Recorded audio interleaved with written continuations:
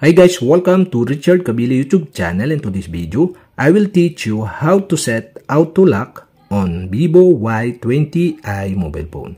And okay guys, but before we start, kindly subscribe to my YouTube channel by pressing subscribe button and the bell to notify you if I have new videos. Okay guys, let's start.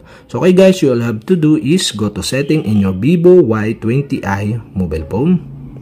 And okay guys, here in settings, go to display and brightness.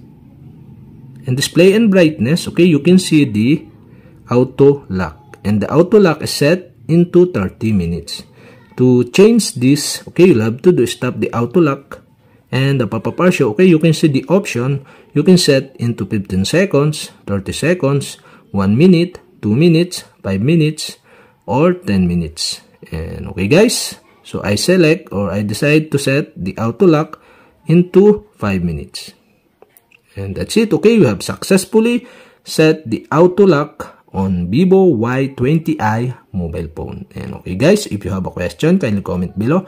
And don't forget to hit the subscribe button and the bell to notify you if I have new videos. Okay guys, thank you for watching.